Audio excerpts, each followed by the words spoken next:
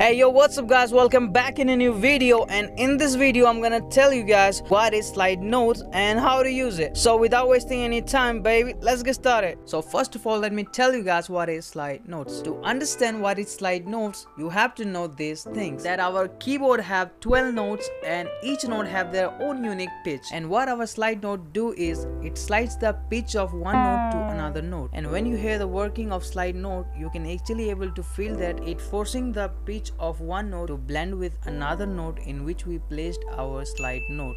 So I hope that now you guys know what is slide note and how it works. And now I'm gonna tell you guys how to make slide notes on FL Studio Mobile. So to make a note a slide note, you just have to press and hold the note and just click on more and press on toggle slide and your note is now become a slide note and it really doesn't matter how much notes you pressed above or below the slide note it's so powerful that it's going to blend the pitch of every note into the pitch of the slide note and here is my small work of slide notes